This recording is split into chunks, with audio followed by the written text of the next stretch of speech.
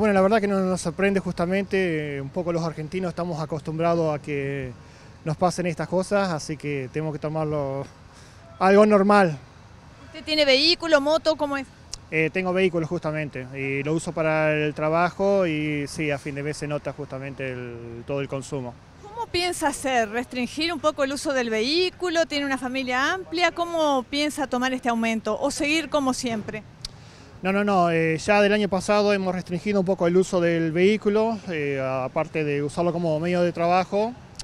yo llevaba a los chicos a la escuela más o menos tenía por día eh, aproximadamente 60, 70 kilómetros en la ciudad y bueno, ya estamos optando por el uso del colectivo y hacer los mandados eh, usando bicicleta, o sea, lo usa el vehículo pero tratando de no usarlo tanto justamente. El dólar a la venta hoy trepó los 40 pesos, bueno, ¿cómo lo toma?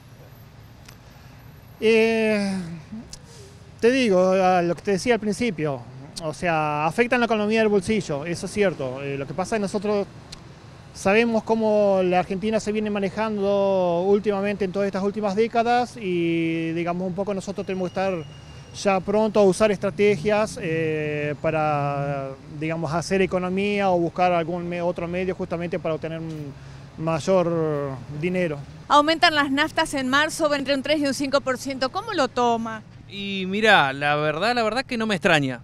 Esto es algo ya habitual que a cada rato suben y, bueno, lamentablemente hay que amoldarse. ¿Va a modificar la vida de la familia? ¿Va a restringir el uso del vehículo o va a seguir como siempre? Y yo creo que, seguir, eh, que vamos a seguir, pero capaz que una vez caminamos un poquito más. No va a venir mal caminar. No, por supuesto, va a venir re bien. Muy bien. ¿Ya estaba noticiado de que posiblemente en marzo aumenten las naftas? Me enteré hoy a la tarde, así que por eso me vine ahora de una disparada acá a cargar combustible.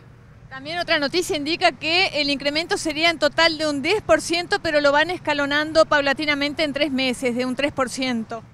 Y sí, sí, sí, todo eso me enteré, me enteré hoy a la tarde, así que bueno, acá estamos.